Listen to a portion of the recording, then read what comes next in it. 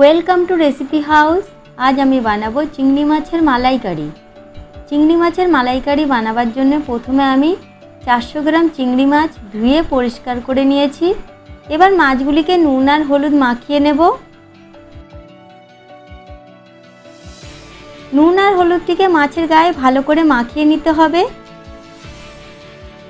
এবার মাছগুলিকে ভাজার জন্য একটি কড়াই সত্তর থেকে পঁচাত্তর এমএল তেল গরম করে নেব।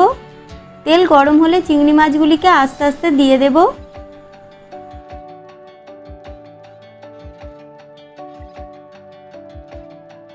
চিংড়ি মাছগুলিকে মিডিয়াম ফ্লেমে উল্টে পাল্টে এক থেকে দু মিনিট ভেজে নেব।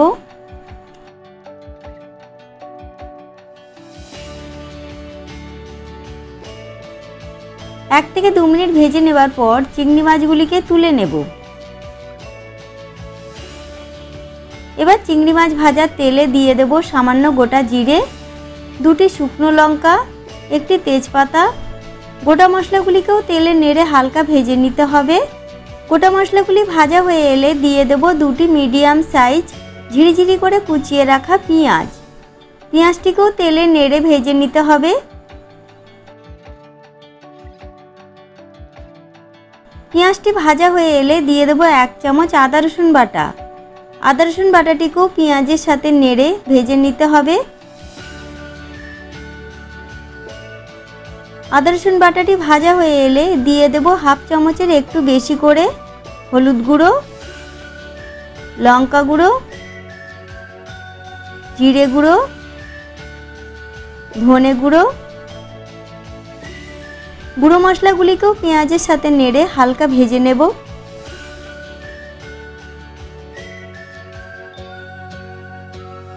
গুঁড়ো মশলাগুলি ভাজা হয়ে এলে দিয়ে দেবো একটি বড় সাইজ টমেটো পিউরি।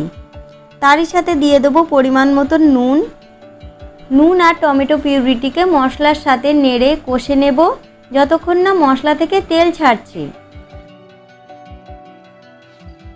মশলা থেকে তেল ছাড়তে শুরু করেছে। এবার এতে দিয়ে দেবো দেড়শো গ্রাম মতন নারকেলের দুধ।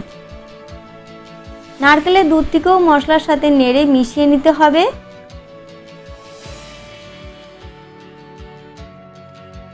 নারকেলের দুধটিকে মশলার সাথে ফুটতে থাকলে দিয়ে দেব দেড়শো থেকে দুশো এম জল। জল দেবার পর গ্রেভিটিকে ভালো করে নেড়ে নিতে হবে।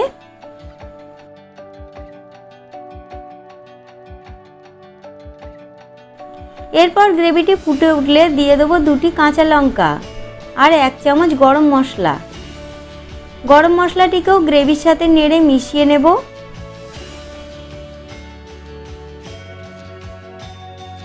মিশিয়ে নেওয়ার পর এতে ভেজে রাখা চিংড়ি মাছগুলি দিয়ে দেব।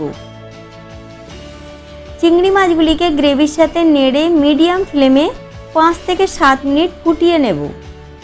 পাঁচ থেকে সাত মিনিট পর অবশেষে এতে দিয়ে দেব হাফ চামচ ঘি। ঘি দেবার পর চিংড়ি মাছের মালাইকারিটিকে আরও এক মিনিট মতন ফুটিয়ে নেব। এইভাবে আপনারা খুব সহজেই বাড়িতে চিংড়ি মাছের মালাইকারি বানিয়ে নিতে পারবেন। যদি আমার রেসিপিটি আপনাদের ভালো লেগে থাকে, তাহলে অবশ্যই ভিডিওটি লাইক এবং শেয়ার করবেন।